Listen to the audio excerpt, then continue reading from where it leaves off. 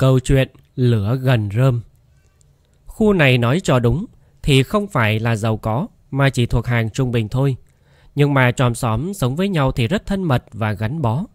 Ở cạnh nhà tôi là nhà chị Tuyền mới chuyển đến. Chị thân với nhà tôi lắm.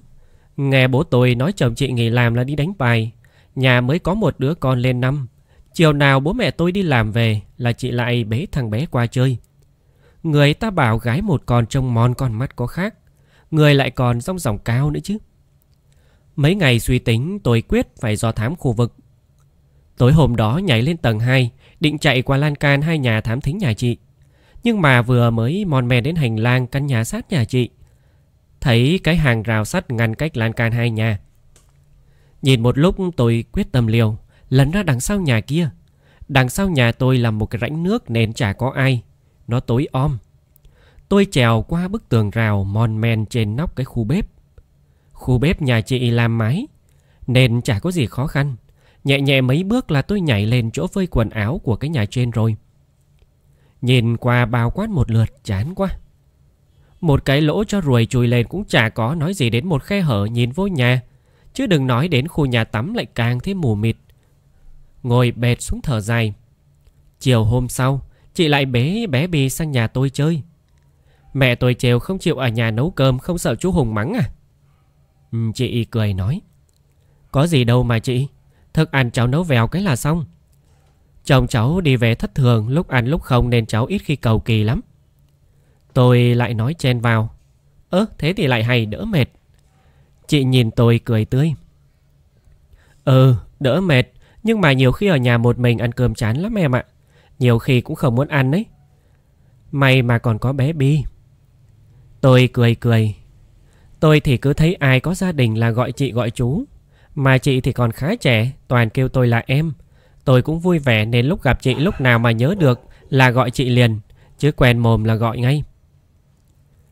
Vừa ăn cơm xong mẹ tôi Kêu tôi sang đưa chị cái bát. Mới qua đến cổng đã thấy chị đang bế thằng Bi. Hai mẹ con đang vừa ăn cơm xem phim ngay phòng khách. Thấy tôi chị cười tươi lắm. Thế có phải chết người ta không chứ? Hai chị cháu ngồi nói chuyện mãi, Lúc sau chị mới nói. Em có vội về nhà làm gì không? Ơ không chị ạ, Em cũng chẳng có gì cả đâu. Sao vậy à chị nhỉ? Chị cười một cái rồi bảo Thế em hộ trông hộ thằng Bi, Để chị đi tắm một cái. Anh Hùng tối nay về muộn em ạ, Đợi anh ấy về thì lâu lắm. Chị sợ thằng Bi trời tối, Không có người thì nó sợ. Máu nóng tôi hơi nổi lên tôi bảo, Được rồi, chị tắm đi, Để em trông cháu cho. Chị nhìn tôi cười tươi một cái, Quay về bê cái mâm đi thẳng vào nhà bếp. Nhìn thấy cái mông tròn xòe hấp dẫn của chị, Tôi nóng cả người. Mới ngồi được tí, thấy tiếng gọi. Sơn ơi, Vào nhà mà lấy táo gọt mà ăn này em. Gọt luôn cho thằng bé Bi nhà chị luôn nha. Tiếng cười khanh khách tôi bảo thằng bé Bi. Ơ, Bi ngồi xem quảng cáo nha. Chú vô lấy táo đây, Đợi chú ngoan không được kêu Là bị ngáo ộp đánh đấy nghe chưa? Thằng bé Bi dán mắt vào tivi quảng cáo nó nói. Chú vào lấy táo đi. Cháu không sợ một mình đâu. Tôi đi vào khu bếp, Trong bếp sao im lặng thế nhỉ? Tôi vớ lấy mấy quả táo, Bất giác nhìn sang cửa phòng tắm. Ôi mẹ ơi! Mắt tôi dán một vết rách dọc xèo sống cửa xếp của phòng tắm. Chắc là nhà chỉ có hai vợ chồng, Nên anh chị mới lười mua cây mới. Làm sao đây? Đầu tôi lúc này nóng ran. Tôi chạy ra ngoài đưa cho thằng Bi cả luôn mấy quả táo, Bảo nó ăn. Tôi vốn đã bật cho nó hẳn một kênh chuyên quảng cáo để cho thằng bé tự xem. Nó cứ thế dán chặt mắt vào đó, chả thèm liếc tôi lấy một cái. Cầm quả táo đưa lên mồm cắn nhún nhún cái chân xem ra rất thích. Tôi nhẹ nhàng bước nhanh vào bếp, cúi xuống dòm qua cái khe cửa đó. Trời ơi, cái khe không nhỏ cũng không lớn, lại nằm sát đất, quá tuyệt vời. Có tiếng thằng Bì hó lên sù sụ. Sao lại hó lúc này nhỉ? Tôi sợ quá, đứng bật dậy, Chạy nhẹ lên phòng khách. Vừa lúc đó tiếng chị Tuyền vang lên. Thằng Bi ho gì thế Sơn ơi? Chạy lên phòng khách rồi, Ngồi vỗ vỗ lưng thằng bé mấy cái Thì ra nó hóc vỏ táo, tôi vội nói, Không sao đâu chị ơi, nó bị hóc vỏ táo thôi. Chị cười cười đi ra, Mặc bộ đồ mới màu xanh nhạt, Tóc còn đang ướt nguyên. Bi ăn làm sao bị hóc vậy con ơi? Tôi ngắm lại chị một lượt, Trời ơi, Mới nhìn thấy xong thật là đẹp. Tôi nuốt nước miếng cái ực một cái. Nghĩ có khi nên rút thôi. Không, lão Hùng về lại mệt. Tôi tặc lưỡi nói. Nó ăn vỏ táo nên bị hóc đấy chị. Không sao đâu, chị tắm xong rồi Thì có khi em về luôn đây chị ơi. Ừ thôi chị cảm ơn em nha, Ngại quá, hi hi. Tôi tiếc nuối nhìn chị cười rồi chào chị đi về. Tối hôm nay đúng là bổ con mắt. Về đến nhà, tôi nằm luôn lên giường nghĩ lại cái cảnh ban nãy như in sâu vào trong đầu óc. Dạo này tôi cứ mon men sang nhà chị chơi. Đôi khi cũng thấy lão Hùng ở nhà. Cái ông Hùng này thì tính tình cứ như kiểu tự kỷ, Chả thấy nói năng gì nhiều. Mắt thì cứ dán vào tivi Thỉnh thoảng quay sang hỏi mấy câu rồi chả thấy nói gì nữa. Toàn là nói chuyện với chị. Chị nói chuyện rất hay cười, Mà lại cười rất tươi. Có khi cả người run lên nhìn mê mẩn cả người luôn ấy. Lâu dần hai chị cháu cũng khá đã thân nhau rồi. Thỉnh thoảng tôi cũng hay hỏi thăm sơ qua về lão Hùng. Mà chị chỉ cười nói, bảo lão đi chơi hoài, Tối mới có về có hôm không? Hôm sau đang đi thể dục ngoài đường, tôi thấy Bi, Con chị Tuyền đang chơi một mình ngoài ngõ cửa. Sợ nó gặp nguy hiểm nên tôi lại gần dỗ dành nó và đưa nó vào trong nhà. Chị Tuyền mãi làm việc nhà nên không để ý. Thấy tôi vào, chị hoảng hốt chạy ra ôm. Rồi cảm ơn tôi rối rít. Hai chị em nói chuyện một hồi thì chị đi vào bếp. Lúc đi ra thấy bê chậu quần áo lên tầng, Biết là đi phơi quần áo, Tôi bế thằng Bi lên theo. Phơi xong chị bảo, Em xuống sau khóa thì chốt cửa ban công cho chị. Tối nay Hùng không về, sợ trộm nó vào khuôn cả nhà chị đi đấy. Khóa ban công lão Hùng không về, Trộm vào nhà khuôn cả nhà chị là ý gì đấy nhỉ? Lại nhớ lúc nãy bà ấy có nói, Ngủ say đến mức bé bi lay dậy cũng không biết, Hay là mình... Tôi lóe lên một ý kiến. Tôi bế thằng Bi vào bảo nó cố ý nói lớn cho chị nghe rõ Bi chốt cửa cho chú xem có biết chốt không nào Nhìn thằng bé hăm hăm quay lại chốt cửa tôi cười cười Đợi nó quay đi tôi đã chỉnh lại một số thứ Đêm rồi, tầm này cũng gần 2 giờ sáng rồi. Cả tối tôi chờ thời gian trôi qua. Lòng nóng như có lửa tim đập thình thịch. Tôi cầm cái điện thoại bật lên ánh đèn mờ mờ bắt đầu cuộc đi săn. Sau một phen leo treo cuối cùng cũng đã đứng trước cửa ban công. Mớ quần áo mới phơi đang treo lủng lẳng của chị mà lòng xuống sang.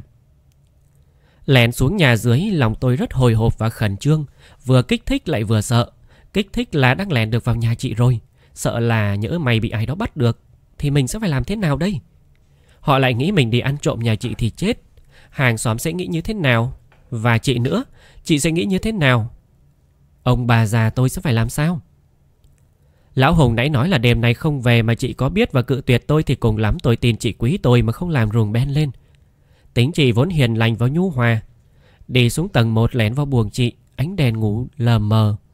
Tôi như một con mèo nhẹ nhàng đến bên giường. Nhìn vào trong màn chị đang nằm bên ngoài, Thằng Bin nằm trong. Chắc là chợ, Chắc là chị sợ nó bị lăn xuống đất đây mà. Dưới ánh đèn mờ, tôi không nhìn rõ lắm từng chi tiết. Ngồi nép vào thành giường tim đập thình thịch Đầu tôi nóng cả lên Vừa sợ vừa thích Đến nước này rồi còn sợ cái gì nữa Mỡ đến mồm rồi Nhà ra có khi còn là thằng đàn ông không nhỉ Tôi cúi xuống khẽ hôn lên chị và đương nhiên bàn tay tôi cũng không chịu để yên. Chị vẫn ngủ say như chó còn nò sữa vậy. Tôi nhìn kỹ lại chị vén mái tóc chị sang bên, lộ ra cái cổ trắng nõn. Chị mặc áo cộc vai trần của phụ nữ bó sát người. Tôi rạo rực mà luồn tay từ trên xuống dưới để khám phá. Nắm đến đôi tay chị thì nó mềm mại mà lại lấm tấm mồ hôi. Tôi biết chắc chị đang nóng lên, có thể sẽ tỉnh giấc nên dừng lại không dám tiến sâu hơn nữa. Lần sau tôi đèo hai mẹ con vi vu trên đường Hai mẹ con nói chuyện tiếu tít Tôi cũng thấy vui lây Đến nhà bố mẹ chị thả thằng Bi xuống chào hỏi mấy câu Chị nói có việc ừ, chị phải đi luôn Tối chị qua đón thằng Bi đi ra ngõ Chị mới nói Chị cần em đi Là chị muốn mua cho anh Hùng mấy bộ quần áo Em với anh ấy dáng người tương đương nhau Với lại lâu rồi chị không đi mua sắm Em không ngại chứ Không sao chị ơi em cũng không có gì làm Lượn phố cho đỡ buồn cũng được Thế là sáng hôm đó hai chị em lượn lờ khắp phố mua quần áo. Tính chị vui vẻ, tính tôi thì hài hước. Hai chị em cứ nói chuyện không ngớt. Chị vào hết cửa hàng này đến cửa hàng khác. Tôi tự nhiên làm người được ngắm chị mặc thử các bộ đồ. Chị quay quay đi đi lại lại cho tôi ngắm, thỉnh thoảng xoay người mấy vòng cười ngọt với tôi. Chị đẹp lắm chị biết không? Tôi tự nhủ ngắm chị đến không chán mắt. Cả sáng hôm đó hai chị em mua sắm tôi thực sự rất vui khi ở bên chị. Đến trưa tạt qua nhà một tí Chị cất đồ lấy ra hai cái kính râm Nhìn tôi đeo kính chị Phi cười rồi bảo Xong rồi coi như trả công em Chị em mình đi ăn Chị ngồi sau tôi hai tay để lên bờ eo tôi Ghé sát mặt để nói chuyện với tôi, Hơi thở nhẹ nhàng sau tai tôi. Ăn xong, hai chị em lại lượn qua mấy khu trung tâm thương mại Tránh cái nóng như thiêu đốt ngoài đường. Chị kéo tôi chạy khắp nơi, Mua cho tôi mấy thứ linh tinh. Tiếng cười chị không ngớt. Sau đó chị rủ tôi đi xem phim. Chúng tôi xem một bộ phim nhài nhẹ nhàng. Chị cười ngặt nghẽo, Nắm lấy tay cười run cả người lên. Đôi khi còn quay sang ghì đầu vào vai tôi mà cười. Lòng tôi có một loại cảm giác hạnh phúc, Vui vẻ. Tôi nắm tay chị càng chặt hơn. Lúc hai chị em ra khỏi rạp đã gần 6 giờ. Nãy giờ xem phim ăn bỏng và uống no cả nước ngọt Nên chị tủ tôi ra ngoài công viên ngồi cho mát. Đi dạo mấy vòng, Trêu đùa chị mấy lượt, Chị cười mãi không thôi. Sau đó đi ăn Ăn xong đã là gần 8 giờ. Tôi nói, bây giờ đi đâu nhỉ? Chị bảo, mới ăn no xong với lại chị chưa muốn về, Giờ ở nhà cũng chưa có ai. Tôi bảo, lượn đường một lúc cho mát, Rồi chút đón bé Bi rồi về. Tôi thì đã gọi cho bố mẹ Nói dối là đến nhà bạn ăn cơm nên về muộn. Hai chị em đi xuyên qua các khu phố, Gió nhẹ mát mát xoa đi cái nóng. Hai chị em bỗng trầm lặng, Chả ai nói với nhau câu nào. Tự nhiên hai tay chị vốn để bên bờ eo tôi Tự nhiên vòng qua trước bụng ôm chặt lấy tôi. Chị áp nhẹ lên lưng tôi, Hơi thở của chị nhẹ nhàng thoảng qua lưng. Tôi cứ thế vì vu lòng có cảm giác hạnh phúc. Chị đã có cảm tình với tôi sao? Tôi nóng ran cả người bắt đầu suy nghĩ linh tinh. Chợt thấy tiếng chị ngay sát tai tôi. Hơi thở nhẹ nhẹ thổi qua gáy, chị nói. Em biết không, đã từ rất lâu chị không có ngày chủ nhật nào vui như hôm nay. Cảm ơn em. Cảm ơn em vì em đã ở bên chị. Hôm nay chị cảm thấy vui lắm. Rồi không thấy nói thêm gì nữa, Tôi im lặng không nói gì. Tôi chỉ muốn thế này mãi. Nhưng rồi cũng đã muộn. Đã đến giờ chúng tôi phải về. Tôi chờ chị đến đón bé Bi. Lần này tôi khôn hơn rất nhiều cho nó ngồi trước xe Thằng bé thích lắm. Chị nhìn tôi mỉm cười lại ôm chặt lấy tôi như thể chúng tôi là đôi tình nhân vậy. Tôi không vội về ngay. Đưa hai mẹ con vòng vòng một lúc. Tiếng chị, tiếng nó và tiếng tôi Ba người bật cười vui vẻ. Về nhà rồi, về nhà rồi Tiếng thằng Bì reo lên. Hết tiền mời quý khách xuống tôi Tôi cũng phụ họa. Thằng bé cười khảnh khách chị trầm lặng không nói gì. Thật khác với chị của mọi hôm. Ông Hùng lúc này vẫn chưa về. Chị nhìn tôi mà nói. Thôi em về đi, cảm ơn em nhiều, Để chị dắt xe vô nhà cho. Chị vẫn thế, chị sao vậy? Tự nhiên trầm lặng như thế, Chị giang tay ra cầm tay ga, Chạm vào tay tôi, chị cúi gằm. Cũng không biết là chị đang nghĩ cái gì. Tôi chống chân chống nhẹ nhàng đỡ lấy eo chị, Tay kia nâng cái cằm nhỏ nhắn của chị lên. Thấy mắt chị rất buồn, tôi lo lắng hỏi. Ơ, chị làm sao vậy? Em làm gì sai à? Không, em không làm gì sao cả, Chị không sao mà. Chị lại cúi xuống, lòng tôi thấy đau đớn. Tôi nhẹ nhẹ quàng tay qua bờ eo thon nhỏ chậm chậm kéo chị, ôm chị vào lòng. Tôi ôm lấy chị khẽ vuốt tóc, Hít thở mái tóc thơm của chị. Hôm nay em cũng vui lắm, chị biết không? Em đã rất vui khi có chị ở bên cạnh. Chị đừng buồn chủ nhật này rồi còn chủ nhật khác cơ mà. Không thì à... Em đèo chị đi một lượn được không?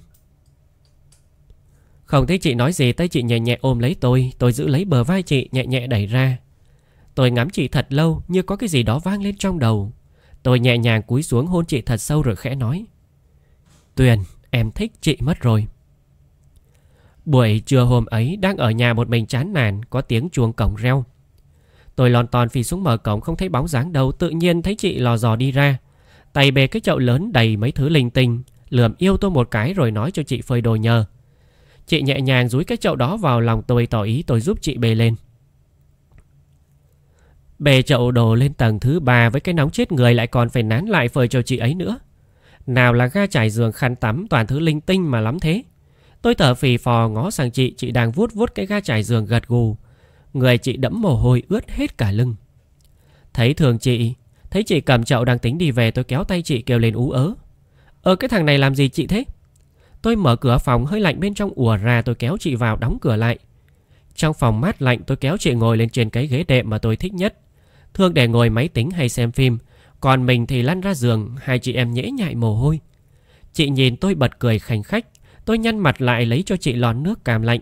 Tôi bật luôn lon bia lạnh uống ừng ực. Chà, phòng con trai mà cũng gọn gàng gớm đấy nhỉ? Được đấy. Hết mồ hôi, chị bắt đầu lượn lờ khắp phòng tôi, cái gì cũng ngó.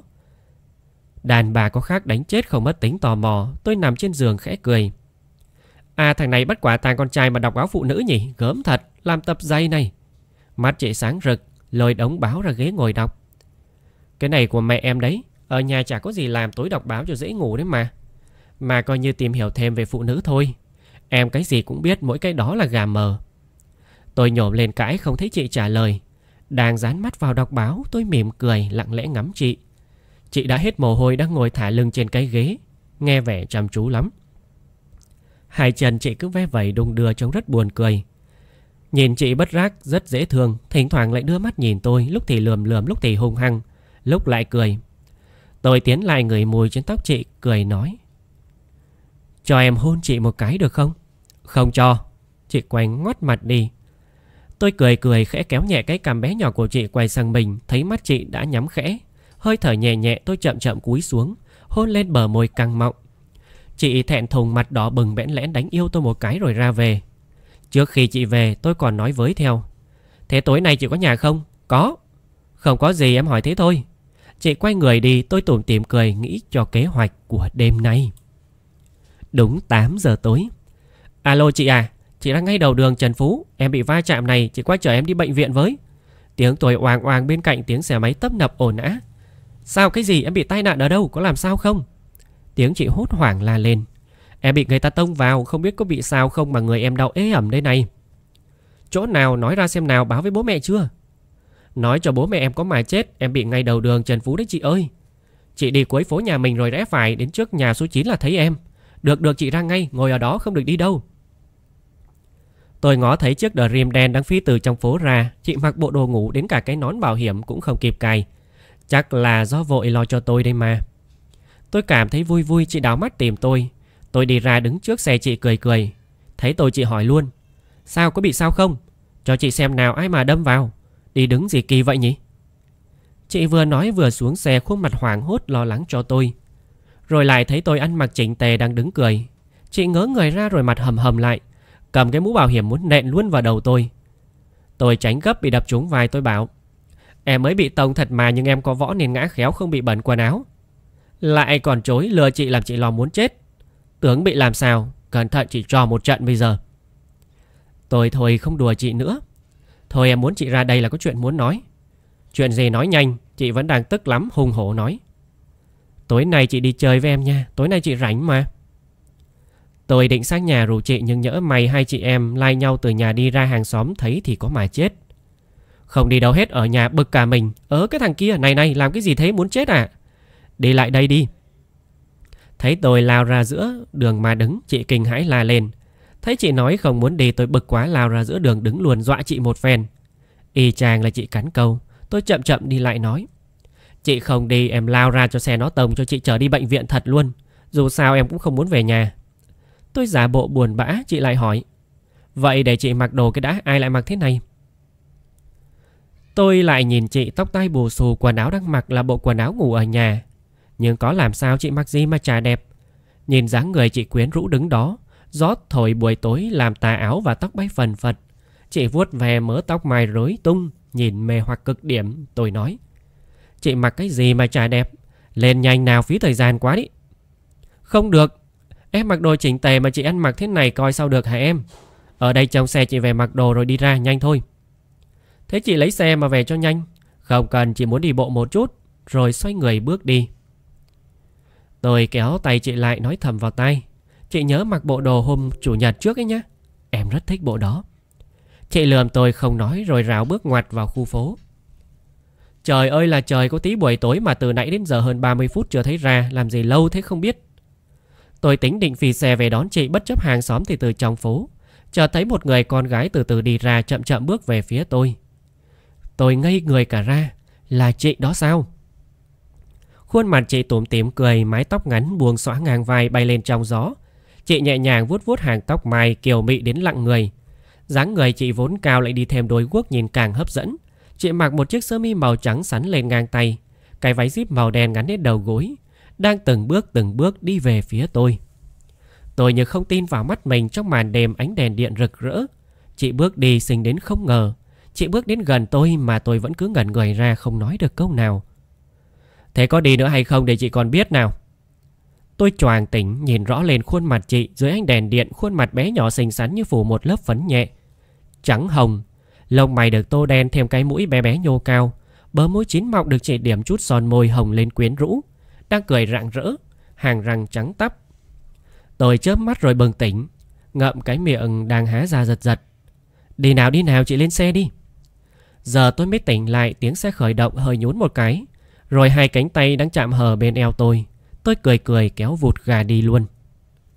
Xe đi vun vút xuyên qua các dãy nhà từng cơn gió mát thổi qua khắp người, làm tôi khoan khoái dễ chịu. Nghĩ đến chị đang ở sau tôi, một cảm giác vui vẻ hạnh phúc ấm áp. Tôi nắm lấy bàn tay chị. Chị để cho tôi nắm, cứ thế, chiếc xe xuyên qua từng con đường lớn, hòa vào dòng người nhộn nhịp đàn sen giữa lòng đường.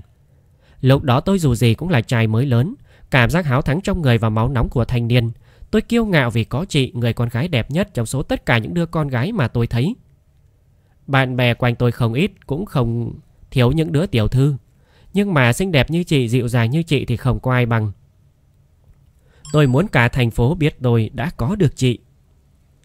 Được hẹn hò với chị đi lượn khắp phố, cảm giác đắc thắng khi thấy mặt những thằng choi choi cùng chàng lứa. Với tôi nhìn chị như muốn rớt trong mắt, cứ vượt lên tôi hoài.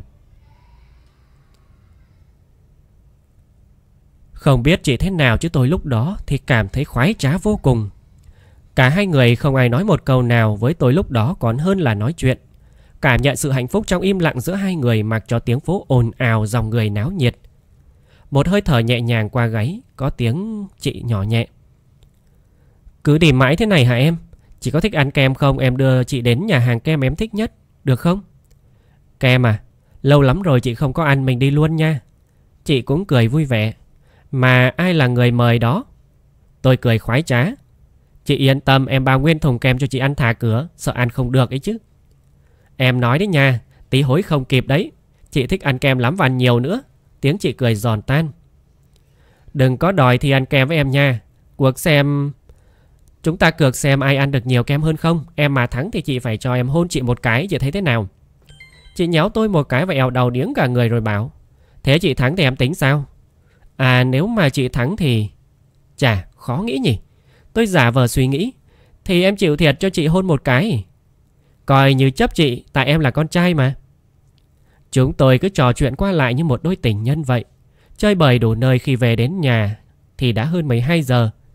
Đêm nay tôi sẽ ở lại đây vì chập tối đã xin mẹ là hôm nay tôi ngủ nhà bạn. Tôi đưa chị về phòng khách. Đèn nguyên một màu đen, ánh đèn phòng ngủ cũng hắt ra. Chị nhìn lên vai tôi, mắt long lanh như có nước rồi thở dài một tiếng đầy chiều mến. Xèn một chút mời mọc. Thế không định về nhà tính ăn vạ hay sao? Hai cánh tay trắng chảo không xương mềm mại mát lạnh ôm quàng qua của tôi, khẽ khẽ vò vò mớ tóc. Tôi cũng nhìn lại chị, nhìn vào đôi mắt long lanh đó cười nhẹ một chút rồi nói.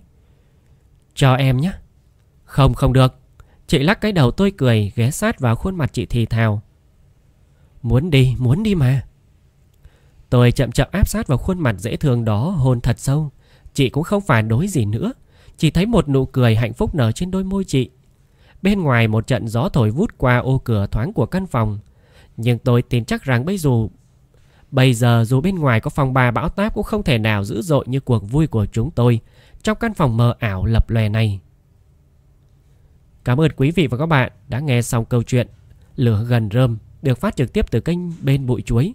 Xin chào và hẹn gặp lại tất cả quý vị và các bạn vào khung giờ này những ngày tiếp theo.